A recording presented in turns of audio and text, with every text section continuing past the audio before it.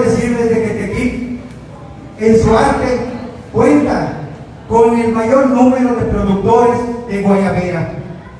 En todo el estado de Yucatán es el principal y con orgullo podemos decirnos que Tequí es capital de la guayabera. Felicito a todos y agradezco a la licenciada Rosa Isela García Pantoja por todo el tiempo que le ha dedicado para poder consolidar este gran proyecto.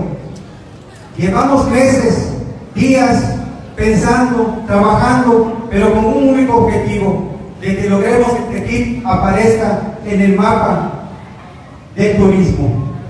Por tal motivo quiero pedir un gran y fuerte aplauso para esta gran licenciada que me ha apoyado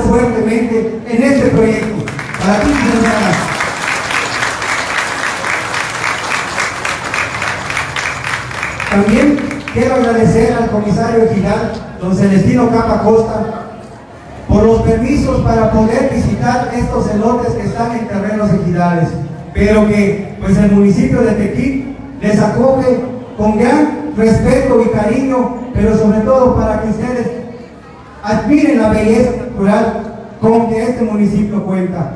También quiero hacerle un reconocimiento a mis amigos organizadores de la Feria de la Guayabera, base también de este, de este gobierno municipal. Todos juntos hacemos que Tequín sea uno de los grandes municipios que en el sur del estado muy pronto se va a reconocer como un municipio mágico. A todos mis felicitaciones y mi agradecimiento de corazón a los medios de comunicación y a los empresarios turísticos y al público en general. A todos, muchas gracias, buenos días y bienvenidos a Tequín.